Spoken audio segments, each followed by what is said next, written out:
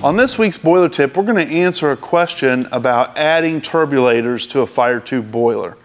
The benefit of a turbulator is that we're breaking up what we call laminar flow in the second half of a tube generally so that we continue to get heat extraction because when flue gases are going through a tube, it's cooling on the outside where it's in contact with the tube, but still stays, stays hot in the middle. So a turbulator breaks that up and gives us transfer for a greater duration of the tube.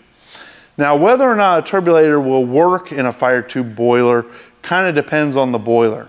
If I've already got a four pass boiler, because of the turbulence in each turnaround section, I'm really not going to benefit from adding a turbulator. On the other hand, if you've got a single pass boiler, like a Sellers or a two pass boiler, in many cases, a turbulator gives you great advantage because we don't have as turnaround areas at all. We've got a very limited number.